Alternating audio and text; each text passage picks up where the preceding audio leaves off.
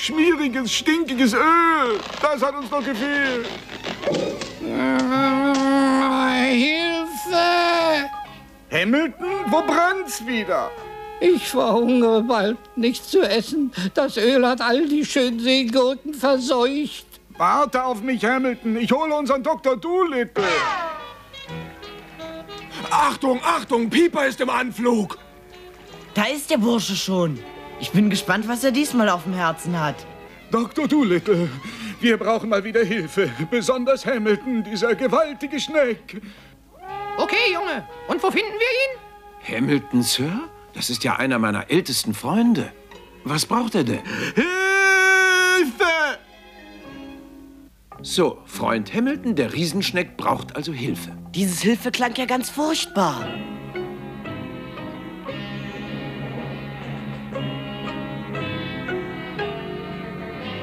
Er muss verhungern, junger Mann, wenn sein Ernährungsproblem nicht gelöst wird. Aber im Golf muss er doch jede Menge Seegurken finden. Das war einmal. Eine enorme Öllache hat vorige Woche die ganzen Vorräte vernichtet. Gut. Sie fliegen gleich wieder zurück und sagen ihm, Dr. Doolittle wäre schon unterwegs. Mach ich. Okay. Ich sage Hamilton Bescheid.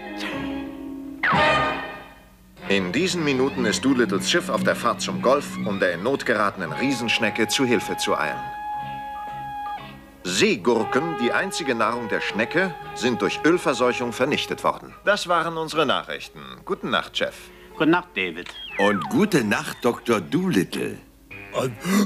Gute Nacht, nee. Gute Nacht. Äh, gute Nacht, Wang. Gute Nacht, Nico. Buonanotte. Sogniamo bene, Scurvy. Gute Nacht? Was ist denn auf einmal in euch gefahren? Äh, du hast doch gute Nacht gesagt, Boss, und wir... Setzen, Knallkopf! Das ist doch nur eine Redensart, ihr Trottel, und weiter nichts. Es sollte heißen, sieh dich vor, Dr. Doolittle. Das muss einem doch gesagt werden. Der Patron hat wieder einen Plan, richtig? Der Patron hat einen neuen Plan, richtig. Doolittle kümmert sich um alle Tiere, die in Not geraten sind. Richtig? Richtig! Und diese sogenannte Riesenschnecke ist zurzeit in Lebensgefahr. Sie erwartet also Hilfe von Dr. Doolittle. Richtig? Richtig!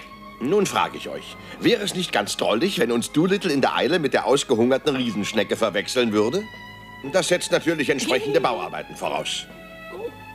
Du meinst, Mon Ami, dass wir so etwas wie ein, ein sogenanntes Schneckenhaus bauen? Erfasst, Nene. Merci. Aber Boss, wir wissen doch gar nicht, wie man solche Schneckenhäuser bauen kann. Da hast du nun auch wieder recht, mein kleiner Chinese. Zu diesem Zweck begeben wir uns augenblicklich in unser Bildungszentrum.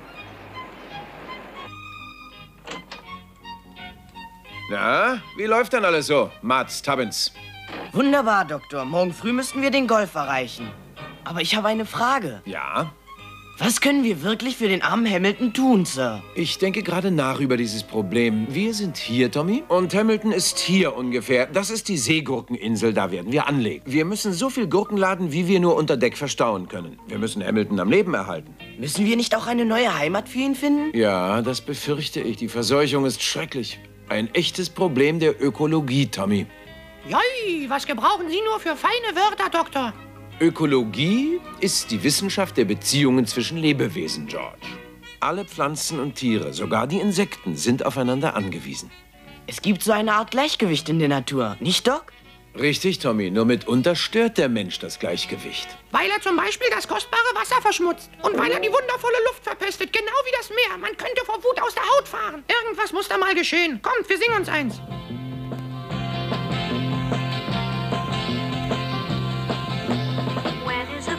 A bird when it's flying, flapping its wings against big blue skies and singing?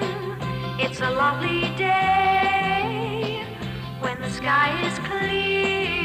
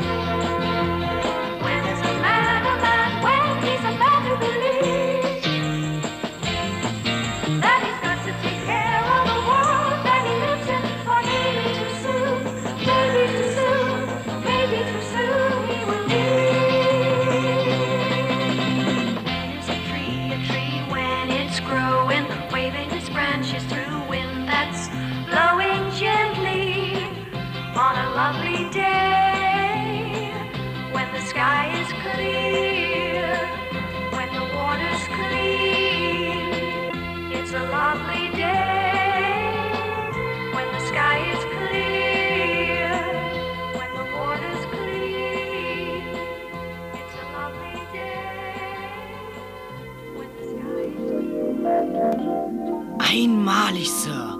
Ja, das ist wahr. Tommy, wieder an die Arbeit. Wir haben noch eine lange Reise vor uns.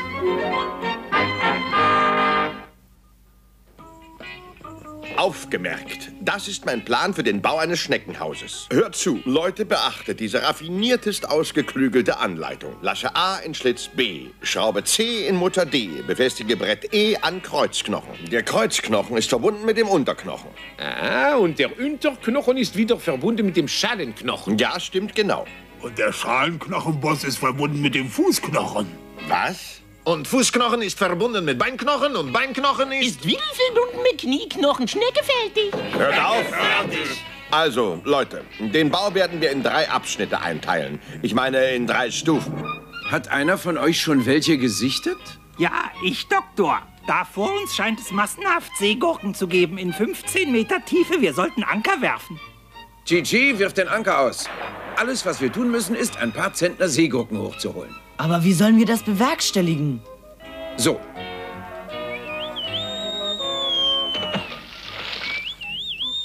Schon gut, schon gut. Ich bin nicht schwerhörig, Tutu. Das weißt du doch. Tut mir leid, alter Knabe, dass wir dich gestört haben. Darf ich vorstellen, Dr. Doolittle? Wir haben eine große Bitte an dich. Wir kennen uns doch. Und ob wir uns kennen? Tatsächlich, Dr. Doolittle. Hey, Judy, komm rauf. Ich will dir Dr. Doolittle vorstellen. Sehr erfreut. So sehen Sie also aus, Dr. Doolittle? Was treiben Sie denn in der abgelegenen Gegend, Doc? Wir brauchen unbedingt ein paar Zentner Seegurken und es wäre nett, wenn Sie die für uns pflücken würden. Wird uns ein Vergnügen sein, Doc. Wie viel brauchen Sie denn so? Vielleicht drei Zentner. Och, das schaffen wir doch spielend. Ne, drei Zentner? Oh. Sie dürfen uns natürlich auch mehr hochholen. Lassen wir es bei drei Zentnern. Judy, mein Liebling, ich säble sie ab und du sammelst sie auf. Wenn ich fragen darf, warum tauchen Sie nicht, Madame? Ich krieg so leicht Wasser in mein Näschen. Bei der Tiefe. Sir, da geht was rein und nicht so knapp. Und das Gewicht zieht Sie vermutlich hinunter. Genau so ist es, Doktor. Wir machen nämlich Arbeitsteilung. Er sägt sie schön ab und ich sammel auf. Tommy, hol unser Dingi. Eier, Sir. Hey, nun schaut euch das mal an.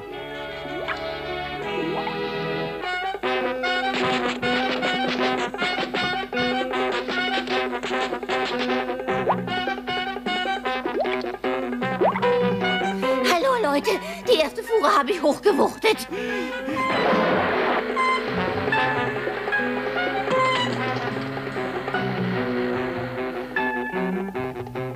Das ist aber eine hübsche Idee, Judy. Ein Gurkenschaschlik, was?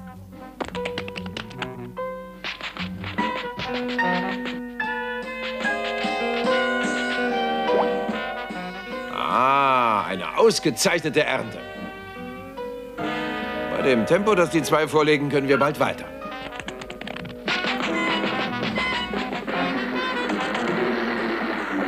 Netz ist voll, Chichi. Hief ist schon an Bord.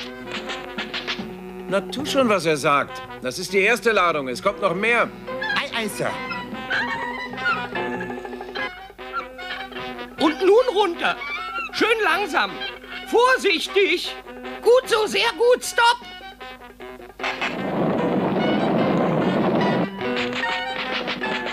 Donnerwetter, machst du das elegant, Chichi.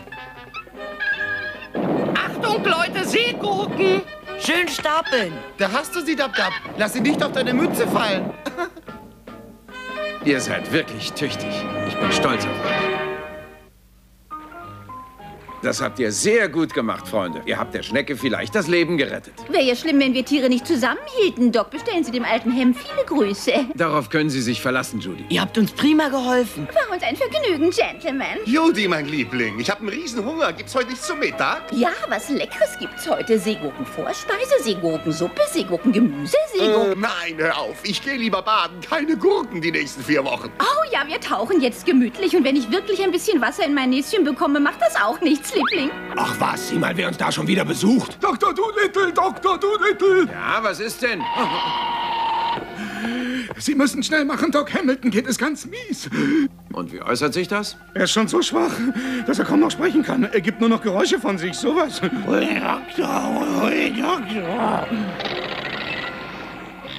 Was hat das zu bedeuten, Doc? Hamilton beginnt zu quapsen. Und das ist ein ganz typisches Zeichen für schwere Unterernährung. Sagen Sie ihm, wir kämen bald. Alles herhören, Freunde. Schnell hieft den Anker. Setzt die Segel. Wir müssen die Riesenschnecke retten. Eine Schnecke, die nur noch quapst? So, so. Böse Nachrichten für den Armen, aber sehr gute für uns. Und wohin mit dem Brett? Brett kommt rüber, Imbecile. Jawohl, ist gut. Guten Morgen, Mann. Ja. Wie kommst du drauf, dass ich schiele? Schlaf nicht, Nico. Der Boss hat nichts von Pause gesagt. Komm, wir sollen heute noch fertig werden.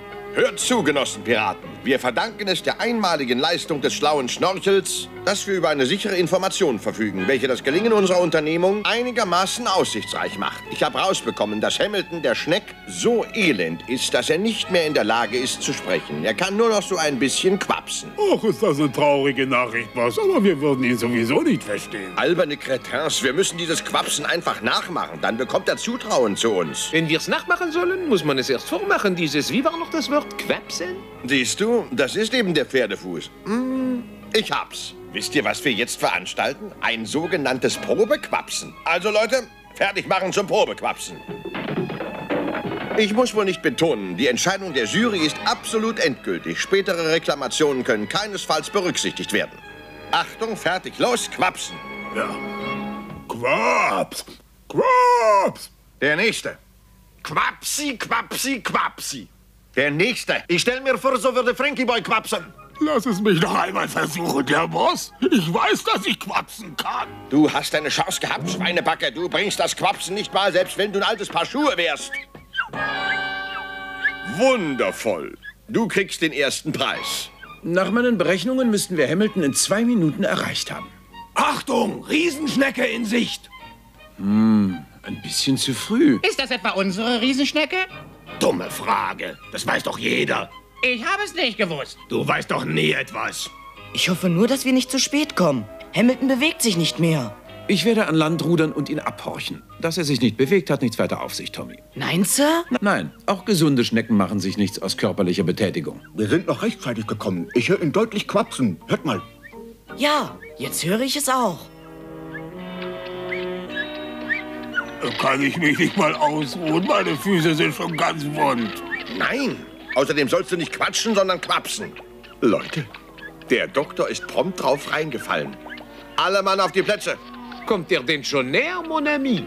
Jeden Moment wird er so nah sein, dass wir nur rüberzuspringen brauchen. Das ist genau das, was ich eingeplant habe, Leute. Rüberspringen. In Springen bin ich prima Klasse. Ja, was ist denn das? Tommy, bitte sag mir ganz schnell, wie viele Riesenschnecken gibt es auf der Welt? Nur eine einzige, Dab Dab. So, dann kommen wir bald in die Zeitung, Tommy. Ich habe gerade noch eine gefunden. Hamilton? Wenn das der Hamilton ist, wer ist dann das? Hm, irgendwie merkwürdig. Also irgendwas stimmt da nicht. Das muss ich mir mal ansehen. Ob das nur eine Imitation ist? Psst, noch nicht. Sobald du Little näher kommt, werden wir die Tür aufreißen und ihn schnappen. Jetzt! Die Piraten! Die Piraten haben den Doktor! Die Piraten haben unseren Doktor! Unser Doc, was machen wir nun? Wir müssen ihn befreien, du Affe.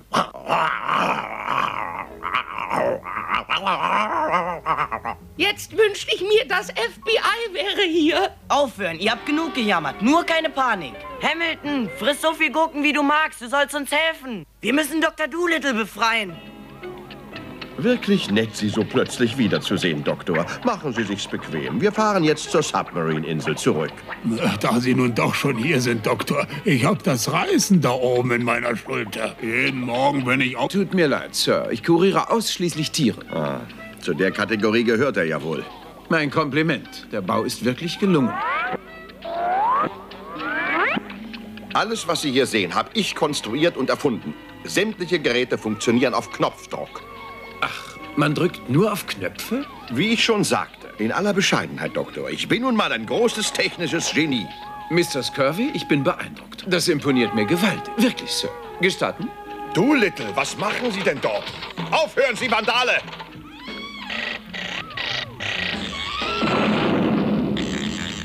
Sie Philipp? Ihr Vollidioten, haltet ihn davon ab! Packt den Strolch endlich! Stürzt euch auf ihn, sprengt ihn an! Tut was, ihr Hornochsen! Und nun leben Sie wohl, Sir. Alle Mann sofort an Deck! Betätigt eure Hebel! Macht schon etwas!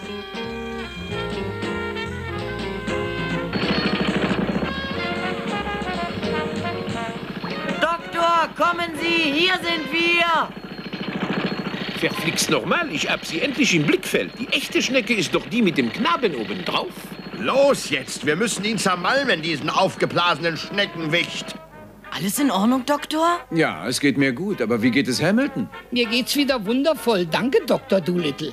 Vorsicht, Freunde, da kommen die Piraten. Hamilton, können Sie ausnahmsweise den Schnellgang einwerfen? Schneckentempo ist meine Spitzengeschwindigkeit. Doc, es wird doch hoffentlich nicht zur Gewaltanwendung kommen. Nämlich Karosseriereparaturen sind ziemlich teuer geworden. Fertig machen zum Rammen, alle Maschinen äußerste Kraft. Ei, ei, Sir. Ach du dicker Vater, verdammt. Da stimmt doch was nicht. Scurvy, wir fahren jetzt ohne Kontrolle. René, was soll dieser Unsinn? Rammt sie, die Schnecke! Das Steuer funktioniert nicht, aber wir eilen direkt auf diesen sonderbaren Schneckenwisch zu, Chef. Achtung, Vorsicht, Hamilton, Sie kommen. Weh, weh, das ist noch mal gut gegangen. René, stopp! Der Felsen! Los, hinterher! Ich glaube, wir gehen jetzt, wie sagst du immer, baden? Ich glaube, du bist, wie sagst du immer, bescheuert. Oh, oh, nicht doch schnell, meine Taucherbrille. Was haben die nun vor, Sir? Keine Ahnung. Sieht aus, als ob sie eine Wäscheleine aufgespannt haben. Bosheit, Gemeinheit, Verschlagenheit machen sich auch nicht mehr so bezahlt wie früher. Ich habe das Gefühl, die haben wir erst mal auf Grund gesetzt. Dr. Doolittle, wir haben das Abschleppseil um Hamilton rumgelegt. Gut, Chichi. Sind Sie bereit, Mr. Hamilton? Natürlich, Doktor. Aber wohin verfrachten Sie mich denn? Wir bringen Sie zur Seegurkeninsel, weit weg von der verseuchten Gegend. Ich habe Ihnen etwas verordnet, damit Sie wieder zu Kräften kommen. Ein Dutzend Seegurken alle vier Stunden. Die wird er sich kaum runterquälen müssen, nicht, Hamilton? Sie können mir auch gern die doppelte Menge verordnen. Ein Dutzend alle vier Stunden, Hamilton. Alle vier Stunden. Achtung, Segel setzen zur Seegurkeninsel!